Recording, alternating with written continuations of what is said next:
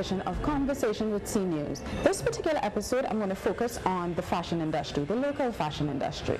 Fashion TT wants to start up or create a garment production facility. They've hired consultant Raymond Wong to put out their vision. Um, I'm going to have a conversation with Raymond, but also I've spoken to Robert Young. He is the creative designer behind the Cloth. He has some concerns with the garment production facility as proposed. But first, let's start with Raymond Wong. You're doing the local garment production facility, which is a mouthful. What does that mean? It means that um, I'm doing the business model for the first production facility in Trinidad and hopefully in Tobago as well. Um, it's going to be the first place where the local designers are going to have a place to mass produce a mass produce their garments at a global standard quality. Okay, so we could like if I want stuff from I'm gonna just say a local designer Meiling. Mhm. You know, who I've just discovered unfortunately in my wallet's not happy about that. but she can instead of just doing like three dresses or four dresses at a time to have in her shop, she can possibly do larger quantities. Correct. Um, pretty much as uh, she gets more orders or, or bigger orders, that will be um, the LPF, or local production facility, will be able to facilitate facilitate the orders, and it will be cheaper because you're doing more quantity. And a lot of um, the designers now are using local seamstresses and tailors, which now the the quality consistency is going to be different than if one place did it. Right. So does having a local production facility mean that obviously you're going to be f- hiring technicians, so persons who can sew, persons who can cut, but you all will also have to train them so that there's a consistent style. Correct. Correct. Okay. Okay. Um, I wanted to ask about the facility because I mean a lot of these things I had to go and look at sublimination printing because Okay. I've never heard of that before. Okay. you know what what does that mean? Could could you give me a, like a fashion example of sublim? I'm going to give you the easiest way. Pretty much sublimation printing is um, instead of screen printing a design on a shirt by using individual screens, it's pretty much the easiest way is um, like an inkjet printer on a piece of paper where you just print very, you know, all full color all at one time without any setup. So like, I was gonna. Like kind of like what you're wearing. Right. Like kind of like what you're wearing. sublim- blah, blah, blah, printing. Um, yes, it is because it's on polyester. Okay. Yes, it okay. is. Cool. You didn't have to tell people it's polyester. It's That's- okay. That was uncalled for. It's okay. Um, That's what sublimation is. It's on polyester. okay. Cool. Nothing wrong with polyester, by the way. Um, because I was looking at some of the core manufacturing services for the facility. Was like screen printing, heat transfer, direct, that fancy with printing, sublimination printing, and cut and sewing. Correct. So all these are like normal, traditional core functions. Correct. Correct. And so does that mean that we, but not not manufacturing a fabric? So Correct. we're not making fabric. We're not making fabric. Okay. We're doing cut and sew facility and uh, adding all the details, um, the design, accessories, things like that onto it. It's a cut and sew facility. And local designers have told you this is something that they they would want. That- I mean, obviously, you know, we would have had engagement with local fashion designers. Correct. And this is this is something that they want their production facility to provide these particular criteria. Correct. We had a, um, a interview process is, uh, a couple months ago is the VCIP where we actually interviewed the designers um, of kind of like what their needs were, what they wanted, things like that, and to had a, a conversation. Uh, unfortunately, because there's so much variation in all types of designers, there wouldn't be a, a way to facilitate everything. But we accommodated with everything, with all the comments and um, with all their comments and their input, we are going to provide them with the best possible solution that we can to facilitate most of the items. So we'd have clothes that just aren't designed in Trinidad but made in Trinidad. So you'll get like a fancy label for dresses and fabrics and stuff like that. If that's what they want to, if that's how they want to market it, because it's their own brand. You are doing the business mo- model. What do you foresee the business model for the local production facility would be like? Um, I guess for the individual designers, if they're approaching the facility to do business with them. That's really up to them. It's really a place for them um, to use because of time, because of time and um, consistency. Um, if they get an order, a lot of them do place their orders with the seamstresses or they actually make it themselves. And if they get an order for 200 pieces, 300 pieces, they won't be able to facilitate that in if the, the retail store asks them for it in two weeks. Yeah. So pretty much we're helping them and assisting them in doing their their production. Right. Um, I and you're doing a three-year business model. So you are your business model is to start up and get the production facility running. Is that is that the idea behind it? Yes, correct. Okay. and to give them uh, an idea of how many um, how many staff needs to be for the first year and why, uh, what kind of clientele uh, we're going to need, um, you know, things like that for the first year, and uh, how we're going to add it in uh, for the second year and third year. So pretty much um, a scope of how three years is going to operate. Okay. And like casually, when we were talking before, you kind of said and Tobago as well. Is there a plan to have a facility in Tobago? Um, well, this is a business model, so we can use if uh, they decide to use this model for other places. It can be the same model, but in just a different location. What do you? I mean, you right? And we were speaking casually before. You said you know you've been here a few times. What do you think about what you're seeing from local designers? Uh, I see a lot of talent. I mean, um, there's talent everywhere, and you know, obviously in different places there's different type of aesthetics. Um, I see a lot of great work. I've been I've been here for the Trinidad and Tobago Fashion Week, and um, you know, I did some seminars and workshops for them, and I saw a lot, a lot of great things. Nothing, I wouldn't even say. I would say comparable to you know on a global scale. Like there's nothing. Like who who kind of catches your eye at, at, in the local fashion industry? I mean, I know some people don't like to play favorites, but if you could. Um, I'm gonna make no comments. I'm gonna make no comments. Why? That's my, lame. my my role is is to do the business model for the production facility to accommodate Mm-hmm. as many designers as, as we can. But are you seeing stuff that you might want to incorporate in your local wardrobe, or have you already started? In my local wardrobe, In your your your sorry, incorporate local designers in your wardrobe. Have you In already what- started? um, that's a weird question because I'm not the consumer. Um, but you could be. If I'm not wearing this, Uh-huh. I'm wearing a black T-shirt, jeans, and sneakers every day to work. Right. I wouldn't even be wearing this today. I'm, I'm, I'm, I'm being honest. I'm being honest. I go to work in t-shirt, jeans, and sneakers, a And white work in t-shirt. Fashion, though. Hmm? You work in fashion, so you've developed a uniform, even though you work in fashion, which is supposed to be very creative, stylistically and stuff. Um, I'm in the business of fashion. Okay. I'm in the business of fashion. I'm not. Uh, I don't claim to be a big-time designer or to be the trendiest. I'm in the business of fashion. You think the Caribbean needs to think more seriously about the business of fashion? Yes, absolutely. What, other than this production facility, what, wh- actually, why? Why, why should we be looking at the business of fashion? to be honest, when you know the, the, the times that I ca- came here and what I noticed is that it's not the designers are not lacking the talent. Um, they're lacking the business sense of how do we get my talent as a business, Yeah. and that's what um, separates. Uh, that's what separates a lot of designers into a business, you know. And we're not. They're trying to. a lot of them are selling supposedly, you know, one-offs or artwork pieces, and um, that's not a, a way how to sus- to sustain. Yeah, I, I know I've seen that discussion when you look at international fashion Mm-hmm. programs. A lot of the designers that we, you know, know of internationally have that problem. It's like I have to try and balance my artistic vision Mm-hmm. with my real business.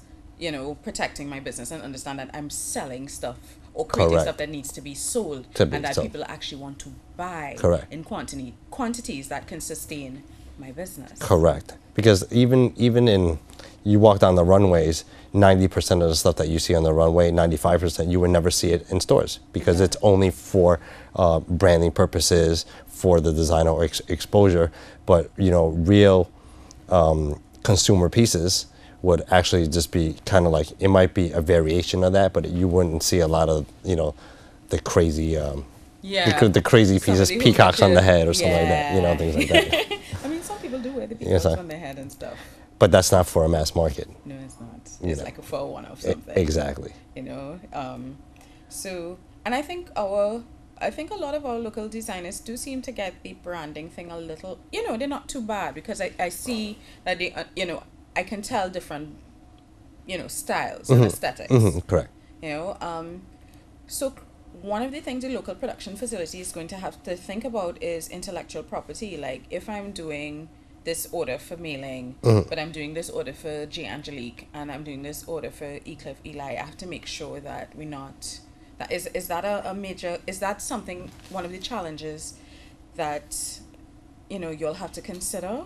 Intellectual property? Not at all, because we're just producing things. Right. So it doesn't it doesn't really matter. No one's designing anything at this facility. So it's whatever their design is and their tech pack that they give to the factory or the instructions is whatever they're gonna make. And it's entirely possible that we can be getting orders from persons from from other des- designers from outside of Trinidad as well. Absolutely, that is the plan. Hopefully, we can um, we can get orders from you know other you know other Caribbean islands, right? Barbados, Jamaica, and things like that, where we would put Trinidad as the main as the main kind of fashion hub or like fashion production uh, facilities for the Caribbean or the or this this hemisphere. How soon um you're going to start setting up? Because give me a timeline for the whole business model thing.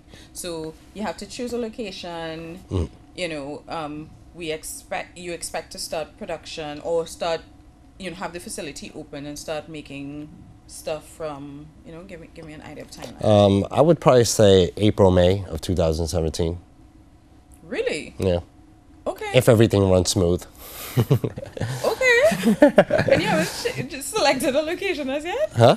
And you all haven't selected because you're still looking for No, there's a couple options that are on the table, so it's Right. really which is the best so viable like in a one. days or weeks you'll have a decision to make. Correct. Yes. Okay. And when you say ready in April Mm-hmm. for your first order, Possibly. Yes. oh wow. Yes. That's very speedy. Well, we try to do things on a timely uh, manner. My interview with Raymond took place on Friday, 18th of November. Earlier that day, he had presented his plan for the garment production facility to members of the local fashion industry. Some of the designers took issue with the plans and staged a walkout. One of those designers was Robert Young of the Cloth. All right, so Robert, I know you took part on Friday with Fashion TT's um, presentation by Raymond Wong, who's the consultant that they've hired to set up their garment production facility. I know you're one of the designers that walked out of that meeting because you all took issue with some of the decisions Yes. that you heard. What what issues did you Um, have? the issue is that how, is- how is the production facility manned and run? Um, um, how do you want him take, invest a part of government resources in production and, and miss out completely the working people Right. who produce, who sew anyway. So if they're going to be working in the facility, why can't they invest um, invest in, in owning owning the facility. The same with the designer who comes to the facility, owns their business. The facility, if it's being set up, could be owned by the worker. Um, and the So your issue, so just to be clear, your issue is not that the, pro- you're fine with the production facility. you're not fine with With the ownership. ownership, ownership of it. So Right. um, let it be a worker-owned cooperative. Let the government set example. Why is that so important? that there is a, there's been a history of, of people who stitch stopping working with, with, with designers um, and going off on their own to set up facilities, mm-hmm. right? In Trinidad. In Trinidad, right? Designers, all designers catch their skin mm-hmm. to produce to produce work. Mm-hmm. How are you getting workers to work in a facility that government runs, that might pay, might pay basic wages, and be in there permanently? How are you going to have people invested in something where they don't own it? Right? Worker-owned cooperative sets up a situation where the person who is a qualified stitcher, well, really good stitcher, commits to the process because they, they, they, they own it. They have ownership of The the ownership thing. of the, thing. Because right now, they left our businesses to go and own their own situation at home. So the, the, a lot of in your expertise, a lot of the stitchers, designers, the persons who would man the garment production facility have heavy or high entrepreneurial tendencies. Um, because they, they, they, they, they don't run their own businesses and when they work in your facility, they, they, they manage the production. Right. Right? Um, the assumption that some class position people, working class people can't do it, but middle class people who might have tra- trained, them, Right. trained themselves in a management degree can do it, no, is, is, is, is, not, is not so. Now, I know you also made mention, in fact, that we have facilities in the, pa- and we have a lot of the equipment. Right, so we have tons of equipment. Here's the concern I Uh-huh. have. The equipment is from the 80s, or in some Sewing cases. machines haven't changed Okay. since chuk chuk chuk chuk chuk chuk chuk. Yeah. Sewing machines haven't changed Right. since it started. Right. Right? A bobbin is finished Mhm. anyway. Mhm. Right? Mhm. If you want to go into to automate, aut- automated stitching and stuff, I don't think we need to do that right now in Trinidad. Right. For what reason? Mhm. We need people to to work to be able to because the issue is not about only work, it's about liking what you do, taking pride in what you do, um, And having ownership. having ownership of it. Because you um, why would if you already left, you, you, you don't want the end the, the tail end of the the um, of the skill level. You want the best of the skill level, Right. right? And let it be a model. All right, this is a model, a model, a one model of what can happen. So then, other other cooperatives can be set up Right. where things are produced. Um, the same way how the school feeding program gets work um, in a community to, to provide food for things.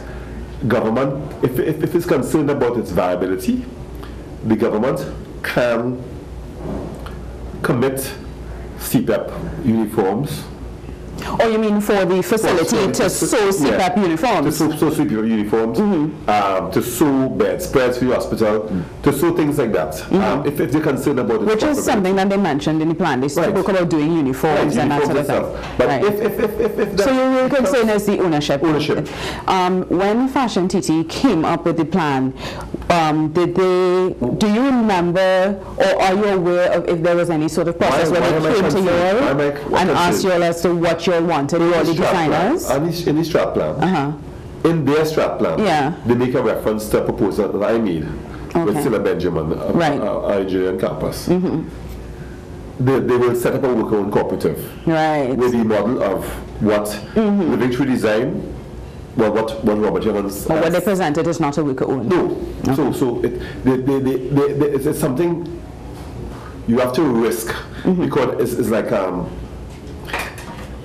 I, I don't understand why people people are fearful of it because I am trying to get Fearful of the worker owned worker-owned cooperative. Okay. right. Um, I want to do it for myself for the cloth Right. but that's leaving on the road. But this has to come off, and this will come out, come out even with or without the government's involvement. Right. But if the government really wants, who will make the profit if um, where the, where the money goes when Fashion TT sets up. Fashion sets up this thing? Where the money Right. goes? Um, it's, it's, it's skewed. It's not like a CEPEP like a CEPEP contract. It's a private company owns the CEPEP contract that gets paid from the government for the work done, right? Right. This is not this. This is private people coming into a government facility to buy services. And that's your concern. That's my concern. None, I, I'm always a personal advocate for government providing services. Providing services, but what kind of services? You mean supports? Uh, but I, I'm advocate for government pro- providing services. I wish government could provide the services, but with this time, this, this, at this just juncture, in the, the history of garment production, where the garment sewers are older, they're dying. The, the information they have on how to sew and how to run a space is being lost with them. Like one of my best stitchers, Ma- Bailey's best stitcher, died like four years, five years ago. A woman called Ma- Marion Bailey. Um, how are you going to keep keep that that that, that I call it technology? So that the government, the version of the production facility you're thinking of, um, it's worker owned, but also they will have the transfer of knowledge. Yes, may- knowledge, you, yes. you think you think mm, the key for you is them owning it because then they will ha- they will see the profession as something that they would want to remain in and something that and, and therefore it'll be, be an attractive they- they- they left- industry for people to working- enter to. They left working with left working in Nichols, not Nichols, micro and larger factories Mm-hmm. on the cloth or by Meiling, um, or by Claudia Pegus. To go independent. Mm-hmm. To go independent, because they didn't want to work in those situations again, Right, right? right. How are you going to And your experience working people? with these people suggests to you that worker owned is the Worker- worker owned. preferred. It will be a difficult process Yeah. because it is it is challenging another set of stories. Yeah. People who are who are who are of a different class background or different um, in, feeling about people who are working Mm-hmm. to give them power, right? It will challenge you completely, Right. right? So you get to figure that out. We get to figure out how people get to really like themselves that I own this thing, Mm-hmm. right? And, and, and, and, and I'm supported. And if it doesn't work, because it doesn't need investment because Mm-hmm. the machinery is already on the ground. These people have machines in their spaces. They may What- need a, they may need a facility of, of, of, of building space. What is your relationship like with Fashion TT? Is there a, a channel of communication there? Fashion TTs, I know what Fashion TT does really. Okay. Um, Fashion TT, um, I had a meeting with them about um, two months ago, three months ago, where where um, I was concerned about how, how they operate. Um, they have done really strange things. Like, you know, many here they did something called um, a masquerade one time, spent, spent must about a million dollars on that project. Um, um, the the FIDC, the Fashion Fashion Industry Development Committee, spent about a million dollars on doing a, a video on Trinidad and Tobago fashion. Um, so it is kind of skewed. It's all, all, all a blink. This is a grounded process. We need people to work. How do you work? Because I heard them mentioning bringing in employees, bringing in bringing in workers at the same meeting with the Fashion TT talking about Chinese workers, right? That is obnoxious, right? To feel that we can't produce. Because we're confident that we have these skills. we have these skills, we have these skills, and we have to battle. And we have the numbers. We have the numbers, you, you can't, only this company, this thing that they said, we have 26 people working in it. In the fullest, fullest production capacity, 26 people is not a big thing, right? 26 people. It is, it is, it is a model to produce work. It can produce for everybody, but it's a model, so it, it can't be, um, it can't be, it, it, it can't work, and they just have to decide that it makes sense to, to do this, right? Um, I'm not talking to this is not this doesn't benefit me. This is this is Karen Gay, this is Gail Williams, this is somebody like Marion Bailey who died. This is this is um, Linda from Arima. This is Dorcas. This is a lot of stitchers all around the place who work in their own independent spaces because do, those people don't even have to be there all the time you have a skill base who come in and say, hey, this is how we do this kind of color. Right? Greg, Gregory, Gregory Mills could come in as a consultant to make sure that the production is tight for shoots. Right? But it's a way of empowering people. Um, wh- why do it another way? I'm not saying is that it's, it's government owned and, and the assumption that we own it. No, this is worker owned. This is this is this is a new economy, and the government taking a chance to set that up, risk that in this space where people are invested because this is real work. This is not um, this is not punching things in in in in in. in, It's real craftsmanship and handiwork craftsmanship. and- so and people do that, why they, they why they can't own the facility? Okay. Why they can't own the facility? I, I don't understand. That ends my conversation with Fashion TT consultant Raymond Wong and with Robert Young of The Cloth. That's it for Conversation with News. Join us next time. Until then, I'm Soyini Gray.